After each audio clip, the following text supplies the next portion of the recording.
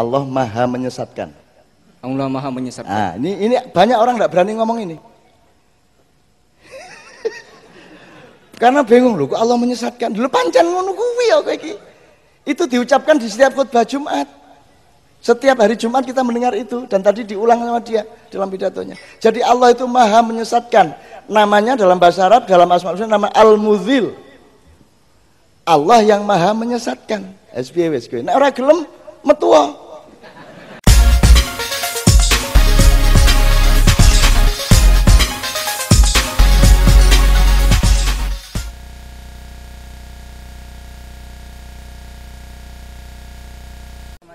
Bersama-sama. Madura kan?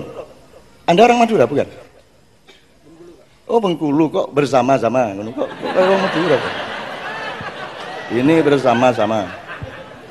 Orang Madura itu pokoknya salah tingkah kalau sudah ada dua kata sama mas. Turunto jadi runto-runto jadi turunto gitu aku takon di Madura saya naik kendaraan terus berhenti ada ibu-ibu nyunggi makanan gitu Terus aku takon, "Bu, Bu, Bu. Guluk-guluk di mana, Bu?" Tidak tahu saya. Guluk-guluk tidak tahu saya. Begitu, Bu, ya, nggih, Bu, terima kasih terus begitu dia jalan lima langkah balik. Eh, lu gulu. Nek lu gulu paham, nek guluk-guluk gak paham. itu soal cengkok ya, soal nuansa, soal zok ya dalam bahasa Arab gitu. Oke ya. Oke. Jadi bar bikin bareng ya, ya. Oke. Saya tanya, kok pakai Nusantara, kok enggak pakai Indonesia? Enggak sengaja apa sengaja apa? Apa itu ideologi, apa itu rencana masa depan atau apa ini? Kok kebudayaan Nusantara kok enggak Indonesia, kamu enggak ngakan Indonesia apa bagaimana? Atau sekedar istilah? Anda boleh menjawab meskipun tidak saya tanya. Anda langsung ngomongin. Jangan terlalu merenung di Indonesia. Selak pecah Golkar. Ini loh, pecah Golkar ini. Karena Anda terlalu banyak merenung itu apa? Eh dek, why Nusantara? Why did you choose word Nusantara, not Indonesia? Kenapa kami pilih Nusantara? Karena menurut kami eh, nilai-nilai yang ada di Indonesia itu telah lahir sebelum Indonesia itu ada. Jadi okay makanya kami pakai kata Nusantara. Gitu ya. Jadi nilai yang yang asli real historis itu Nusantara. Jadi Nusantara sebagai sebuah fakta sejarah gitu ya. Iya Pak. Oke. Berarti anda kalau saya ganti Indonesia mau enggak kalau di sini saya ganti berkepribadian dalam kebudayaan Indonesia boleh enggak sing ceto boleh enggak uh, biar lebih pilih Nusantara biar kita lebih paham apa itu paham ah, nilai-nilainya dari dulu okay. gitu loh pak. Iya. Ada bedanya nggak Nusantara sama Indonesia sehingga sengaja atau tidak sengaja Anda pilih Nusantara? Ada bedanya nggak? Ada beda karena pas Indonesia terbentuk itu tidak hanya dari orang-orang Nusantara aja tapi sudah bercampur kayak Cina, Arab, maka terbentuk Indonesia oh, gitu. Yang waktu Nusantara nggak ada Arab? Enggak, uh, Nusantara itu kata yang yang mengeks, yang menyatakan eh, orang-orang uh, yang dari dahulu telah ada di bumi Nusantara itu mungkin. Anda dari mana? Anda dari mana? Aslinya? Sumatera Selatan, Pak. Sumatera Selatan. Menurut Anda ini asli Nusantara apa Anda lihat wajahnya? kalau kalau yang dimaksud Nusantara itu belum ada Cina, belum ada Arab dan lain sebagainya. Ini saya nggak nggak cari kebenaran sekarang, ini ganggu aja supaya anda besoknya mikir gitu loh ya. Nah, kalau Palembang itu itu mesti ada hubungannya sama Putri Campa loh, Raden Patah aja belasteran Jawa Cina kok. Lah kalau lihat wajahnya masuk gini Jawa. Ini mesti rodok Cina-Cina dede. Cuman karena tidak keriting pasti bukan Arab. Makanya dia tidak tidak masalah kalau kebudayaan Cina mengkooptasi kebudayaan Indonesia, yang dia marah itu yang yang Arab kan itu kan. Kira-kira ngono loh. Iya ya. Guyon, guyon re, tapi serius ya toh. Oke, tapi pokoknya intinya ada bedanya ya Indonesia sama Nusantara. Bedanya. Jadi Anda tidak memperbolehkan kalau ini diganti kebudayaan Indonesia. Tuh, Mas. Boleh enggak ini? Secara akademis, secara substansial, boleh enggak diganti kebudayaan Indonesia? Ayo yang tegas. Enggak boleh, enggak boleh Mas. Sudah setuju sama Anda, Mas. Nek ngomong boleh cegat dalan. ya. Nah sekarang Anda sudah paham belum Nusantara itu? Sejak kapan? Kalau Indonesia itu gini, Mas. Misalnya nanti Anda namanya tadi siapa? Hari. Yang ngasih nama? Oke, kalau yang ngasih nama Pak Lurah boleh enggak? Hmm? Yang punya hak ngasih nama Anda siapa? Sebenarnya semuanya punya hak. Punya hak. Ya, Sik toh mikrofon iki tak dol lho ngene caranya. Oke, yang Anda namanya Hari. Iya. Oke, yang ngasih nama Anda Bapak. Sebenarnya siapa yang punya hak urut-urutannya? Bapak Ibu. Tapi kalau Bapak Ibu minta Pak Lurah boleh juga. Tapi kan tetap harus ditandatangani oleh Bapak Ibu. Jadi sebenarnya hak otoritas primer untuk ngasih nama adalah pada orang tua. Iya. Benar. Sekarang saya tanya, siapa yang ngasih nama Indonesia? Sopoy, mbahmu, bapakmu, tatonggomu, ta? Ya, Siapa? Siapa yang ngasih nama ini Indonesia itu siapa? Tidak harus dijawab. Ini cuman memancing Anda supaya penelitian. Abad berapa kata Indonesia itu mulai diucapkan dan di, kemudian digunakan untuk nyebut kita bersama? Nggak tahu ya? Oke, nggak apa-apa. Nggak apa-apa. Kita akan meneliti bersama supaya kita tahu. Loh kita ini dipanggil dengan kata Indonesia. Tapi kita tidak pernah marah. Ini yang ngasih nama saya ini Pak Lurah apa Bapak saya? Kan nggak jelas sampai sekarang. Dan kita rela-rela saja. Tolong dipertanyakan martabatmu. Ada kita punya teman namanya Jemek. Jemek Supardi itu.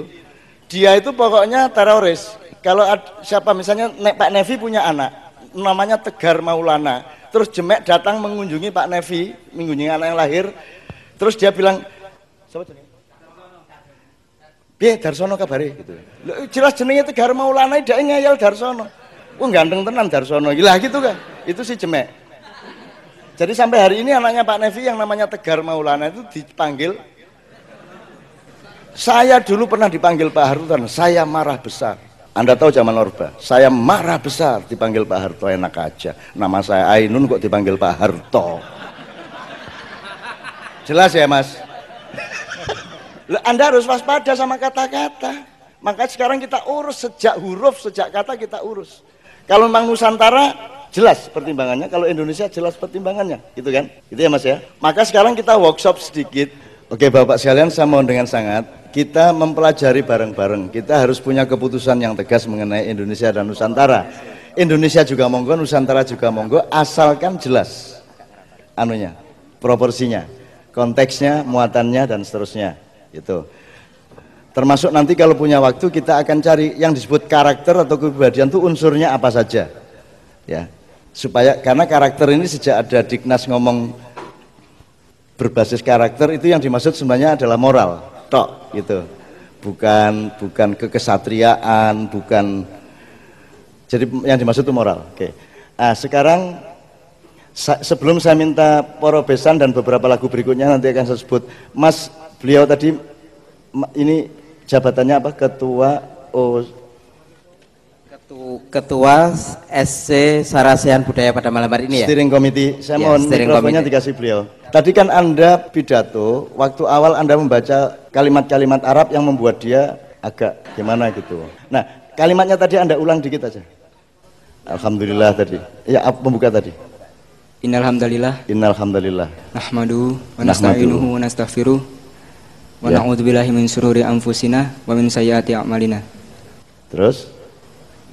May yahdihillahu fala mudhillalah wa may yudlilhu fala hadiyalah. Oke, saya ambil bagian wa may yahdillah fala mudhillalah wa may yudlil fala hadiyalah. Artinya may dan barang siapa telah diberi petunjuk oleh Allah wa may yudlil wa may yudlilhu fala tidak ada yang Maka bisa menyesatkannya. Tidak akan menyesatkannya.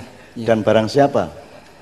Dan Wa may wa may yudlil- yudlil- dan barang siapa yang telah disesatkan maka tidak ada yang bisa memberi petunjuk pada dia. Oke. Oke, menurut Anda ini unsur yang bisa Anda ambil dari kalimat ini apa? Saya kasih contoh, berarti Allah itu punya hak absolut untuk memberi petunjuk atau untuk mem- untuk menyesatkan, benar nggak? Dan tanpa alasan, kita tidak punya hak menuntut Allah. Kenapa kok dia diberi petunjuk kok saya tidak? Kenapa kok dia disesatkan saya tidak? Tidak ada hak pada kita. Meskipun Allah sangat rasional dan dia setia kepada sebab akibat. Tidak ada orang tiba-tiba disesatkan tanpa sebab. Jadi kalau ada peristiwa hidayah dan peristiwa penyesatan itu harus kita lihat dia sebab apa akibat. Kan itu. Kalau dia sebab berarti tidak ada tidak ada apa-apa sebelumnya. Dia memang mengawali segala sesuatunya. Tapi kalau dia akibat, orang disesatkan karena titik-titik-titik. Satu gitu ya Mas ya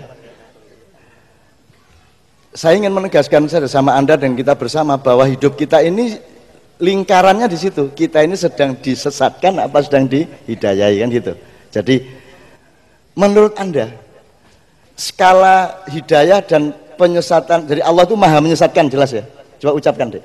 Allah maha memberi petunjuk. Satu coba ucapkan. Allah Maha memberi petunjuk. Kedua, Allah maha menyesatkan. Allah Maha menyesatkan. Nah, ini ini banyak orang nggak berani ngomong ini. Karena bingung loh, kok Allah menyesatkan. Dulu pancen ngono kuwi ya iki. Itu diucapkan di setiap khutbah Jumat. Setiap hari Jumat kita mendengar itu dan tadi diulang sama dia dalam pidatonya. Jadi Allah itu maha menyesatkan. Namanya dalam bahasa Arab dalam asma husna nama Al-Muzil. Allah yang maha menyesatkan. SPW Nah, orang gelem metua. Kamu jangan ikut Allah, kamu cari partai lain. Tapi juga jangan tinggal di buminya Allah, kamu cari galaksi-galaksi yang kira-kira bukan bikinan Allah. Kono mau daro dewe kono rono kono. Gitu.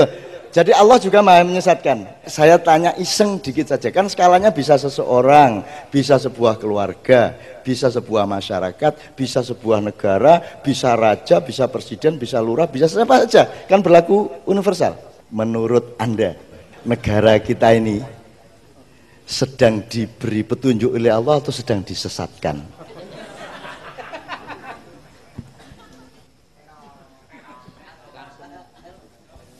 Disesatkan. Agak keras, agak keras. Disesatkan. Disesatkan. Artinya presidennya itu presiden kesesatan. Demikian juga DPR-nya, parpolnya dan sebagainya. Atau ada potensi disesatkan, ada potensi dihidayai. Kan ada variabel-variabel. Ada, ada plan A, plan B, plan C, ada opsi 1, 2, 3. Tapi mainstreamnya atau primernya disesatkan menurut Anda gitu ya? Nah, jadi Anda mau nggak meneruskan kesesatan ini? Enggak. Nggak mau. Oke, jadi malam ini kita harus punya pemikiran yang jelas, landasan keikhlasan yang jelas dan setup masa depan yang jelas bahwa kita tidak akan meneruskan kesesatan ini sehingga kita harus membuat sesuatu berdasarkan petunjuk Allah. Kan gitu ya, Dek ya? Ah, sip. Untuk itu studinya harus benar-benar matang. Harus ngerti yang disebut Nusantara itu sebenarnya apa. Indonesia itu apa dan seterusnya harus harus matang. Anda mahasiswa, Anda harus melakukan penelitian terus menerus.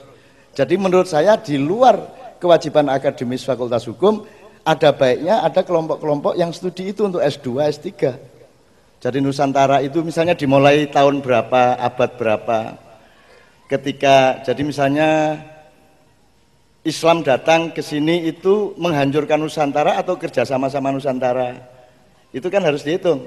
Islam datang ke sini abad berapa? Mas. Mas mikrofonnya. Abad ke 12 13. 12 13. Oke. Bagaimana kalau ada situs kuburan Islam bernama Fatimah abad 7? Gimana? Ya, se ini sepengetahuan saya yang sudah baca emang ada beberapa teori tentang masuknya Islam. Ada yang awal, pertengahan sama. Gini, bagaimana kalau suatu hari Anda menjumpai resources, manuskrip yang mengatakan bahwa Sayyidina Ali bin Abi Thalib itu begitu Abu Bakar jadi khalifah, dia minggir dari Arab dan tinggal di Pulau Jawa sampai ke Sumbawa selama 13 tahun. Piye? Nek wamane ana ngono njur kowe piye? Ayo. Makanya dongeng mengenai dan cerita mengenai Bagendo Ali Kasan Kusen itu sangat populer di Madura di mana-mana karena Ali dulu jangan-jangan tinggal di sini 13 tahun. Yang paling lama di Menturo, Jombang tempat saya itu. Ya aku paling ngomong ini soalnya udah penelitian gitu. Kira-kira jangan kaget. Jadi Islam sudah datang ke sini bahkan sebelum Rasulullah meninggal dunia. Islam sudah datang ke sini dan seterusnya. Itu kita teliti, bukan saya bilang saya benar loh ya. Ini kita teliti bersama, kalau enggak kita salah sangka nanti. Menurut Anda Nusantara sama Indonesia lebih tinggi mana peradabannya? Nusantara. Sip, dah. Tapi kan harus ada fakta-fakta, harus ada penelitian, harus ada bukti-bukti. Gitu ya. Nah, ini banyak sekali mas, kalau kita mau ngomong ini kita sarasiannya minimum lima kali. Ya tapi kan kok entek duit dekan ya toh. Terus gak usah terus kapan-kapan aja kita tapi pokoknya kunci-kunci almari kehidupan masa depan kita buka dan barang siapa ingin memiliki masa depan dia harus berkaca kepada masa silam kan begitu tidak mungkin orang berjalan ke masa depan tanpa melihat masa silam. Tidak mungkin anda nendang penalti akurat dan tinggi energi yang mendorong bola itu kalau anda tidak mundur beberapa langkah. Betul enggak betul enggak jadi mundur gak ono ono ini bal terus ono penalti Messi terus dia sih ya ono yang ini rek. Mundur baru set gitu. Mundur dulu ya toh? Nah anda juga harus mundur saya ingatkan sebelum lagu saya ingatkan salah satu yang saya ambil dari Nabi Khidir alaihissalam adalah ajaran mengenai siklus waktu jadi Nabi Khidir bocorin kapal itu masa kini, Nabi Khidir mencekik anak kecil itu masa depan, Nabi Khidir menegakkan pagar miring itu masa silam. Jadi urutannya masa kini, masa depan, masa silam, masa kini, masa depan, masa silam.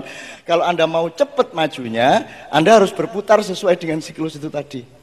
Makanya ibu-ibu, bapak-bapak kalau marah sama kamu dulu ketika kamu suka bolos, bapak bilang gini, kamu itu bolos, bolos, bapakmu kerja keras, kamu disekolahkan mahal-mahal, bolos saja, gitu kan?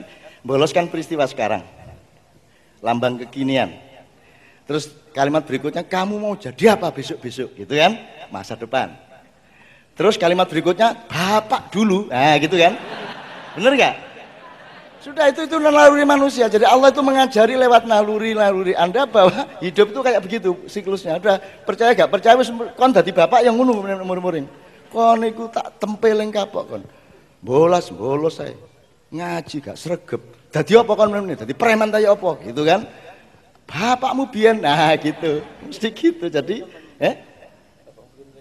Bapakmu biyen luwe nemen. Cara imam oke